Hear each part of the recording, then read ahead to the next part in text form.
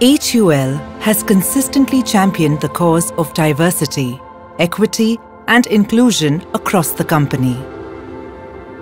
With more than 400 of our 780 R&D scientists being women, we proudly stand as the largest employer of women STEM talent in FMCG across not just India, but South Asia. From societal bias to parochial mindsets, it continues to be an arduous journey for women to enter and succeed in STEM.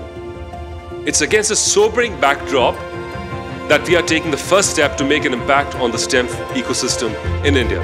To further our commitment to reducing gender disparity in STEM, HUL proudly launched the Women in STEM Fellowship Program in 2023. This fellowship is designed to tap women scholars from leading institutes pursuing their PhDs. One year into the fellowship, we are back to hear from these remarkable women exploring diverse fields in science.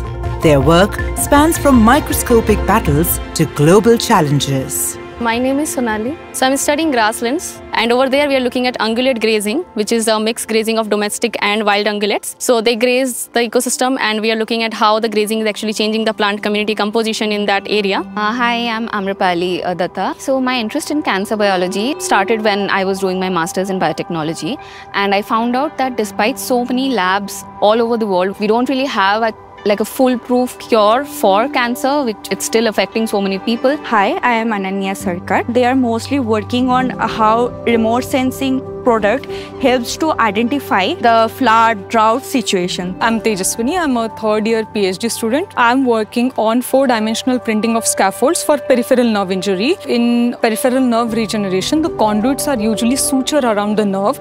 So you need needle pricking, which creates an extra injury and hampers the nerve regeneration.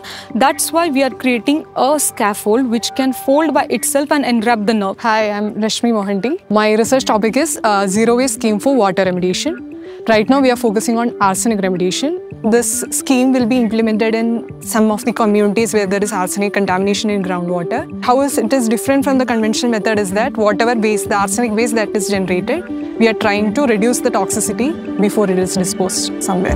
The research areas of our fellows align with the United Nations Sustainable Development Goals, addressing critical issues such as climate action and sustainability, health and hygiene, and clean water and sanitation.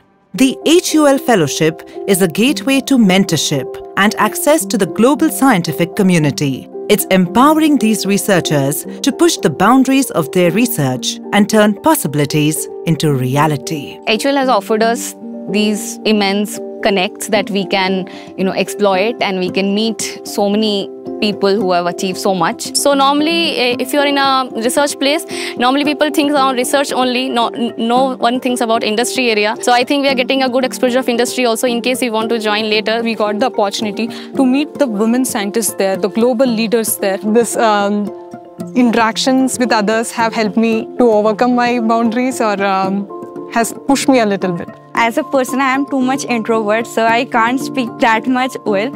So when I talk with the people, I got a lot of motivation from them. For all the up and coming women in STEM, uh, first, I think it's very important to know, have a clarity on what you want.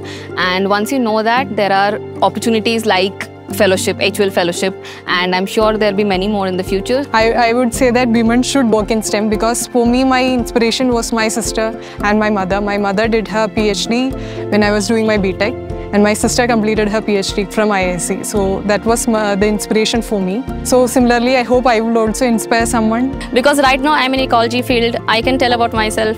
There's a lot of time where you won't get results. There are a lot of times abiotic factors will affect your results. But because I love it, I am ready to do, redo it. So I think that is the most important part I feel like to join a PhD. HUL's vision is to see more women leading in STEM, driving innovation and solving the world's toughest challenges.